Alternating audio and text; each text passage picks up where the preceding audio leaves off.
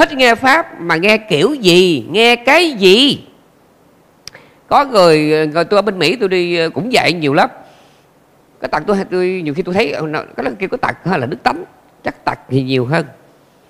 Tôi hay quên tôi hay kể chuyện tiếu chuyện ma lắm. Thấy tôi buồn ngủ quá đó thấy tôi buồn ngủ mà mình cũng buồn ngủ mình chuyện ma mà tôi kể chuyện ma. Mấy người quen đều khen tôi kể chuyện ma có có có có có giá lắm. Ừ. Tôi kể chuyện ma không chuyện ma ma hà sống được. Có cái bà đó bà sau ba ngày tu học thì nhà có chuyện gấp cho nên bà xin đề mà bà bỏ bên đồ. Thì lúc chùa dọn cái cái cái học đó, thì chỗ bán ngồi đó nguyên một sắp giấy ghi lại toàn lắm mấy chuyện ma chuyện người của tôi không. Hiểu không?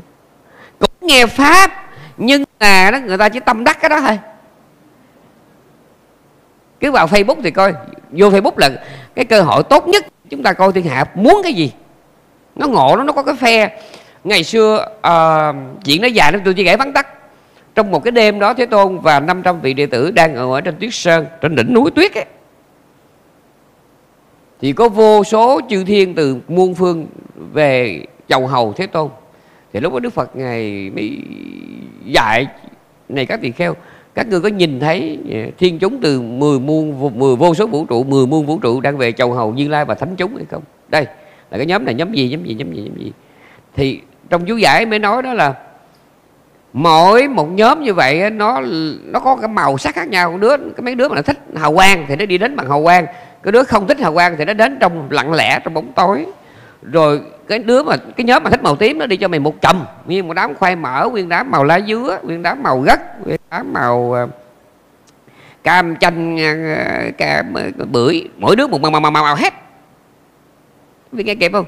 À, tức là sở hành nè sở thích nè như thế nào thì nó gom nó thành một đám. Tới hồi đọa nó đi chung siêu nó đi lên chung tới hồi gặp phật thì cũng nguyên đám nó tới gặp phật ghê đọc cái đó mình mới thấy hết hồn. Tức là ngài đang ngồi thế này có nguyên một cái một, một cái một cái quần sáng màu tím càng lúc nó càng tỏ dần tỏ dần. Rồi đó là quyết nhóm chữ thiên. Tím riệm khoai mỡ không. Có cha màu sáng sáng như thanh long vậy đó. Rồi có nguyên cha màu nguyên đám màu mỡ gà màu lá dứa màu gất à, màu măng cục. Đầy hết vậy đó. Tới hầu ngài cái sở hành, sở thích giống nhau y chang. Thì chúng ta hôm nay cũng vậy. Các vị đừng có nói với tôi là con thích sống một mình, kiếp sau con sanh ra một mình. Sai, cái chỗ này quan trọng nè. Chúng ta có hai cách cộng nghiệp. Có nghe chữ cộng nghiệp không? Có hai cách. Một, cùng nhau làm việc gì đó, rồi kiếp sau gì sanh ra, gặp nhau đó gọi là cộng nghiệp. Cách cộng nghiệp thứ hai, nghe cho kỹ nè. Cách một là cùng nhau làm gạch dưới. Cách hai, không cần cùng nhau làm lặng lẽ làm một mình.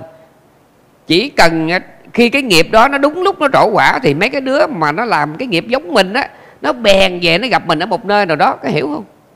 Như vậy cộng nghiệp có hai trường hợp. Thấy mặt nhau, nắm tay nhau, cùng làm chung nhau là trường hợp một, cộng nghiệp. Trường hợp thứ hai, giống nhau thôi, đã là cộng nghiệp rồi. Nghe hiểu hả? Ví dụ sáng nay có một chiếc máy bay 257 người rớt. Trong đó mình mình mình nói ẩu cộng nghiệp cộng nghiệp. Mà mình không biết cộng nghiệp này trường hợp nào. Trong đó có một số là cộng nghiệp trường hợp một một số là cộng nghiệp trường hợp hai. Có một cái người vừa ngồi vừa suy nghĩ mà vừa tìm chữ nghĩa ra để nói, còn có một số người người ta nói sẵn mà nó không chịu hiểu mới ghê chứ. Ừ. Ghê chứ. Hiểu hả một chiếc vai rớt xuống vậy là mình thấy mấy cái đứa ra chết trong đó, nó gồm có hai trường hợp. Một là kiếp trước tụi nó cũng từng là, nắm tay nhau làm một cái nghiệp sát nào đó nhưng trong đó có những đứa nó không từng biết nhau. Nhưng mà cái cái nghiệp nó giống nhau và cái ngày mà trả trùng thế là nó hẹn với nhau vào đúng cái ngày đó. Những đứa thì à, quốc tịch pháp ý nhật tây ban nha việt nam bèn mua cái vé chung vào trong đó. Với cái kỳ mà rớt với máy bay từ pháp về brazil á cái cô này tự nhiên cái mắc cái chứng gì cô đi ra máy bay cô đi trẻ từ paris đi về uh, uh, rio de janeiro cô đi về trẻ thay vì cổ trẻ gọi lại là cổ sống rồi. Không. Ông chồng của cổ làm trong ờ, tòa đại sứ. Cổ mới bèn bóc cái phone cổ gọi cho đại sứ. Xin cái quyền gọi là đặc quyền ngoại giao. Có hiểu có hiểu đặc quyền ngoại giao là cổ là người gia đình của tòa đại sứ. Mà lẽ ra thì cổ không được hưởng đặc quyền đó. Nhưng mà cổ vận động hành lang để cho tòa đại sứ can thiệp phi trường. Cho cổ lên máy bay. Bay. Rớt